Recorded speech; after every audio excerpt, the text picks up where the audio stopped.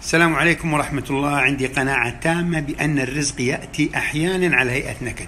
فإذا جاك شيء ينكد عليك افرح به ولا تستعجل تحكم عليه. في قصة يرويها لي أحد المسؤولين المتقاعدين اللي كانوا يعملون في الخارج. يقول مرة من المرات جانا شايب يبي يسلم على ولده جاي من السعودية. يقول وحبيت اضيفه إكراما له ولولده. يقول وأخذته من الفندق موديه للمكان اللي حنا عازمينه فيه. يقول حاطين له حفلة صغيرة. وركب الشويب معي وفي الطريق اكتشفت مفاجأة. إنه جاي يأخذ ولده ويبيني أقنعه إنه يروح معه ويترك التعليم والدراسة. وقال لي تراني أنا يا ولدي ثري وغني واموري طيبة وبخير ولا إحنا في حاجة وظائف ولا هم يحزنون ومن هالحتسي يقول علمني قصة في غاية الغرابة. قال لي يا ولدي تراني أنا أصلا كنت فراش مدرسة.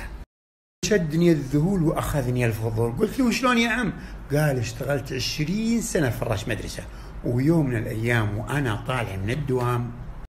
وكان دوامي ينتهي تقريبا أربع أربع ونص حسب الموسم وحسب الشغل. إذا طلعوا الطلاب نظفت المدرسة ورتبتها نسيتها ثم صليت العصر ورحت للبيت. في طريق البيت طالع من المدرسة وقف عندي هاك الكدلك الأبيض فيه شايب ومع السواق. يقول نزل القزاز وقال لو سمحت يا أخ؟ قلت نعم. قال لو سمحت تكفى. أرجوك أبيك توديني لها يقول قلت سم. يقول والله واركب معهم ويمين يسار يمين يسار لين وصلتم للمزرعة. ونزل فيها الشايب وقام يفتر يمين ويسار وطول وعرض وينشد عن جيرانه. يقول جلسنا فيها الله والعالم ثلث أو نص ساعة.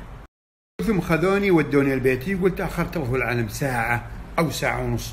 يقول يوم دخلت لون المراه شايشه وحالتها حالة نسأل الله السلامة. يقول لا والله هالمرة يوم سدت نفسي. يقول قامت تهاوش نحسب أنك ضايع نحسب أن أحد خاطفك نحسب أنك ميت. قلت يا بنت حيوانه بضيع هذه المدرسة قدام باب البيت. لكن جاني رجال وصلت أنا وياه مشوار. الرجال هذا شكله ما هو من هالديرة وطلب مني نوصل هكا المزرعة وأخذته ووديته. بعد الله والعالم شهر شهر ونص يقول يجاك اليوم قالوا العيال يا الباب يطق. في رجاني بيك. يقول والله واطلع إلا هو راعي الكدلة قلت لا حول ولا قوة إلا بالله. هذا وش عنده؟ يقول له والله مع هاك الكيس اللي مليان دراهم قلت ذا وشو؟ قال هذا سعي. قلت وش سعيه قال المزرعة اللي تخبر اللي وصلتني لها قلت إيه. قال تراني شريتها وهذا سعيك. والله عندنا هاك المخدة الكبيرة من الأولات يقول واخذها وشقها وطلع القطن اللي فيها. يقول وحشاها بالدراهم. يقول لحمها واحطها ما حد ينتبه. يوم أخذت يومين أو ثلاثة يقول وانادي إخواني. يقول تقهوى أنا وياهم. يوم خلصنا وجلسنا.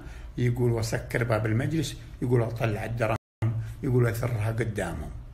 والله قولتهم وش ذا وش ذا؟ يقول والله وعلمهم سالفة الشايب راعي الكدلك والله واشاور إخواني قلت وش أسوي بها؟